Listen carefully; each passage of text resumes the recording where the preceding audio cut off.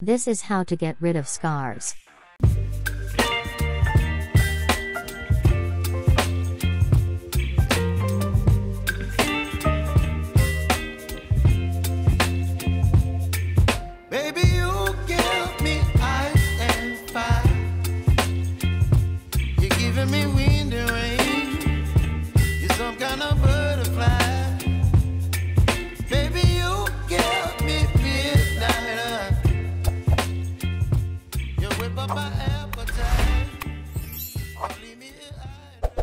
Having scabs on certain parts of the body is very disturbing, especially for those of you who care about appearance.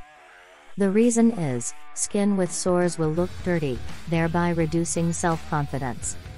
Luckily, there are several ways to get rid of scabs that you can try. The formation of scabs on the skin is actually a normal process when the wound heals. Behind the scab, new skin tissue will form. The color and texture of the newly formed skin can be different from the surrounding skin so that it will leave a scar when the scab is peeled off. The scab may or may not be scarred depending on the type of wound, the depth and location of the wound, and the treatment of the wound when the scab forms. Scabs can indeed cause itching. However, you are not advised to scratch or peel off the scab because it can interfere with the wound healing process and risk causing infection in the wound, which will then leave a scar on the scab. How to get rid of scarred scabs?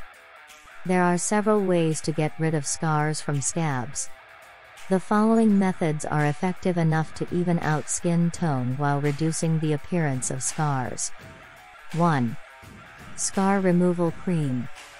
One fairly effective way to get rid of scabs is to use a scar removal cream. In general, scar removal creams can be divided into two types, namely bleaching cream and tanning cream. Bleaching cream functions to fade dark scars, while tanning cream functions to darken scars that are white or lighter than skin color.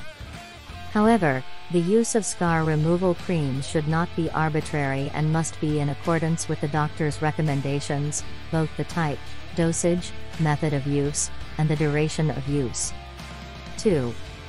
Laser therapy. Another way to get rid of scabs that leave scars in the form of black spots is with a laser beam. Laser therapy is able to break down pigment deposits in scars without having to remove the layer of skin above them. However, laser therapy may have to be done several times until the scars disappear. 3. Skin grafts. Skin grafts, skin grafts, are also effective for removing scars, if the area you want to treat is large enough, for example on a burn. This procedure is carried out by taking healthy skin from another area and then grafting it onto an area of skin that has a scab scar. 4. Corticosteroid injections. Occasionally, scabs can result in raised scars. The way to get rid of scabs with scars like this is with corticosteroid injections. Corticosteroids injected directly into the scars can soften and shrink raised scars. Typically, corticosteroid injections are used to remove hypertrophic and keloid scars. However, corticosteroid injections can not just once. It takes several injections at regular intervals over a long period of time to make the scars even again with the surrounding skin. 5. Tattoos. Tattoos can also be used to disguise scarring scabs. The most common way is to make a tattoo in the form of an image that can cover the scar. However, you can actually tattoo a scab scar using a color that is similar to the color of the surrounding skin. 6. Vitamin E. Apart from protecting cells from free radicals, vitamin E can also be used to treat scarring scabs. This is because vitamin E is known to be able to shorten scar recovery time and remove pigmentation in dark scars. 7. Cosmetic camouflage. The last way is with cosmetic camouflage. Of course, this method can only temporarily remove scabs by disguising the color or appearance. To cover and disguise scarred scabs, you can use makeup, such as foundation and concealer. The methods for removing scabs above can be your choice to fade scab scars.